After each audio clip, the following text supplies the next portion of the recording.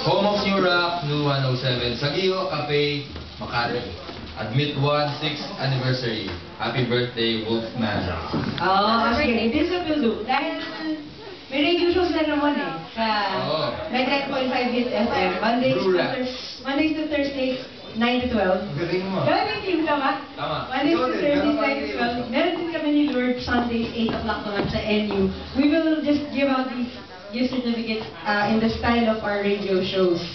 So, we won't ask a question until you come up here. Tama, yung sa callers, gano'n. Sige, sige. Hindi naman nila alam yung tanong bago sila tumawag. Ba? Mag-volunteer muna kayo tapos tatanungin namin kayo ng question. Tapos sa sobrang galing ng sagot niyo, pwede na bigay lahat ng limang to sa iyo. Para uh, tapos na. Dami nito. Dami yan. Sige, come up. Kahit sino. Uy! Galing! Mga valedictorian dito. Initiative. What your name?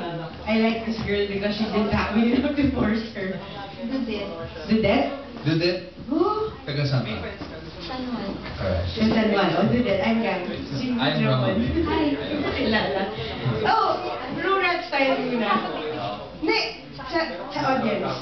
Di ba yung mga ano, yung mga talk show sa TV, hindi sila tumitingin sa isa't isa. Dito sila mag-usap. Hi Ramon, how are you? Para sa screen na. Hindi nagkitinginan yung labo nun. Anyway, okay, do that. Go Ramon. Ah, ah, ano ang shoe size mo? oh, Blue Rat style talaga yun. no? Six and a half. Six Oh, na, pa tapos. Sayang naman yung brief. Ah, is your cell phone a prepaid or a postpaid? Ayun.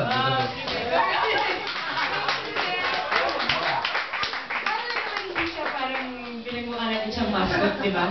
I'll ask you a question because tomorrow evening we will have an episode on Rock and Radio. Ang, ang topic ng episode namin, emo. Kasi kami ni Lord wala kami alam sa emo, so we're trying to figure it out and break it down. Para sa iyo, ano yung emo? Ang hirap na. Hirap na lang. Emotional rock. So, pakidescribe. Emotional rock. Pag sinabi emotional rock, siya yung punang-puna ng emosyon. Tsaka, ah, musika. Ah, naka-eyeliner. Wala ka eyeliner. Okay. Sorry, naabuso ka namin. Parang may chemical romance. Ah, okay. Sila emo. Oh, inaabuso ka namin din. Sino ang iyong favorite emo band? Sino? My Chemical Romance?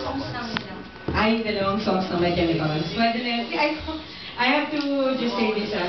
Have, we have to learn from today's example because Filipinos should be more confident and they, hindi na kailangan pinipilit. Kasi ang standard ng mga Pinoy, pag nagtatanong yung nasa harap, you force each other, ikaw na, ikaw na, ikaw na. Kahit gusto nyo naman, ipapapilit kayo. So, I'm so glad that we have people like her who just go ahead and say, ako, I'll, I'll just go in front and I think that's the kind of attitude we should take. Volunteerism. at all times.